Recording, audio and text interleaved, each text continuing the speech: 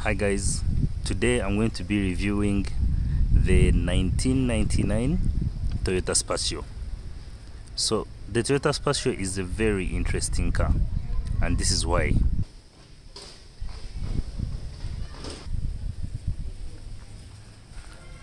The Toyota Spacio is a four-door hatchback that was designed for young people. It's a fun car. This car weighs in, uh, in at about 1.1 tons, so it's a very light car and very easy to drive.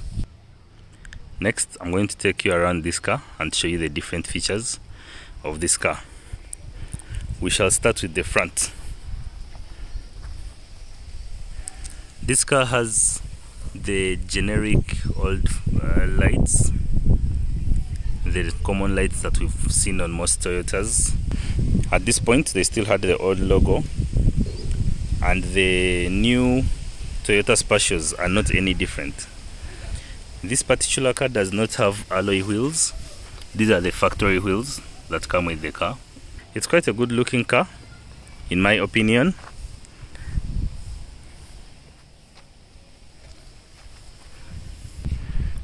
This is how the Toyota Spacio looks at the back.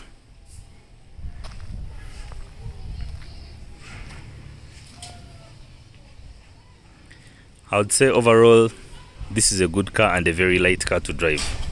It is good for an individual who just commutes from home to work and for touring around the country. It's very economical when it comes to fuel consumption and it is an option most people would enjoy.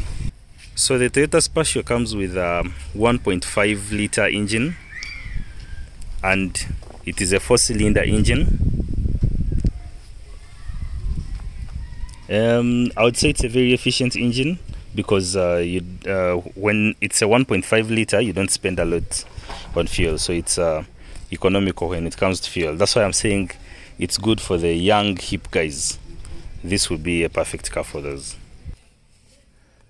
The Toyota Spacio has um, the basic old system of um, the infotainment system. It is able to play a CD and a cassette tape. You can't get the cassette tapes anymore, but this system in 1999 those were big. It has an AM and FM channel, so you are able to listen to the radio. It does not come with uh, Apple CarPlay or Android Auto it, it also does not come with Bluetooth. So if you need to to listen to content on your phone, you might have to get a Bluetooth speaker. The climate control is very easy to set up. As you can see, just three buttons, and it has the economy mode where you save on fuel, and then the normal AC. These are the air vents.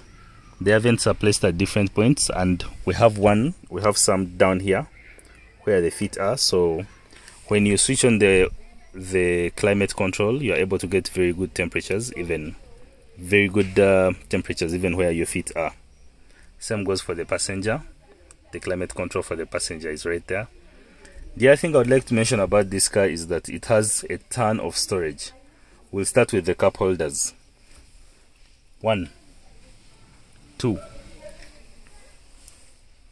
three four five, six, six cup holders.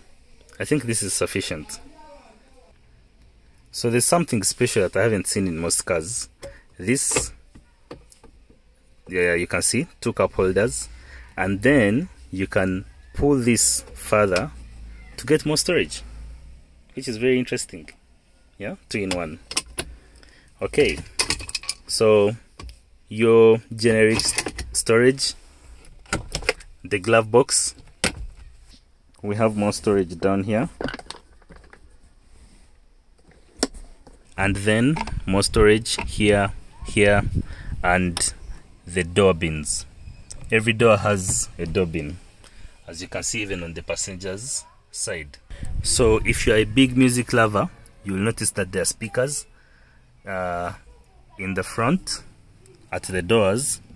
But there's something about this car that is a bit different. There are what looks like speakers down here on the doors behind but there are no speakers here. Toyota left this for you to to improve your car and uh, add more speakers if you like which i think is nice if they are not putting them there they should give us the option of putting the speakers ourselves. The Toyota Spacio has a light in front here and it also has one at the back for the passengers and uh, th things in the trunk in the boot. So you also have the blinds on the passenger side and the blind on the driver's side. Remember these are flexible like in most toyotas you can remove them and uh, put them on the side. Just like that. If the sun is coming from the side of the car. Now going to the back of the Toyota Spacio it's actually quite spacious in here. I don't know if that is the reason they called it a Toyota Spacio there's not a lot of red of uh, leg room but there's a ton of headroom.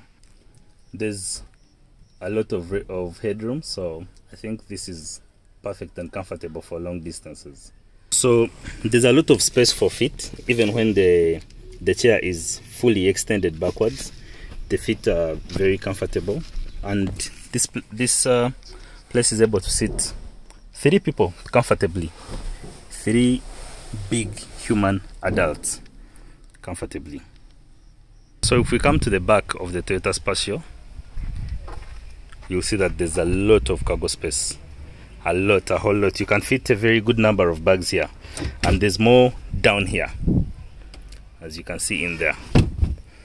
Then the good thing with this is that these seats, the passenger seats, can fold in front and give you more space behind here i'll demonstrate how first use this part here of the seat of the lower seat to move it to the front just like this. And then you'll notice that this headrest is provided for here. So you remove the headrest and then you put it here. You place it just here like this. And then the next step is to move this uh, back portion of the of the seat to the front so that we get more more space so to get more space in the cargo area. So you pull this latch down here. It's quite simple to move as you can see. And here you're left with a ton of space in the back where you can put your cargo. The good thing is that this seat and that seat are separate so you are able to fold one at a time or you can fold both to get even more room behind here. If you're carrying luggage and let's say you're going to the airport and you don't want people to see what you're carrying you can cover your luggage using this luggage cover that is provided in the back which is very convenient. So let's say you got all this storage and in your mind you're like ah no this is not enough. You just come here and remove this cover here when you remove this cover guess what? More storage down here. So you can also remove this and then you'll notice that there's more storage down here. But this is for the spare tire. This is for the spare tire and which I think is very conveniently kept inside the car not outside like most cars. This is uh, good for security reasons and also keeping the tire good in the long run Hi, Derek here. If you enjoyed this video, give it a thumbs up and subscribe to the channel for more reviews in the future. And if you have a car in the area of Kampala that you would like me to review, get in touch with me uh, via the email below and I'll be happy to come and uh, review your car. Thank you very much. See you next time.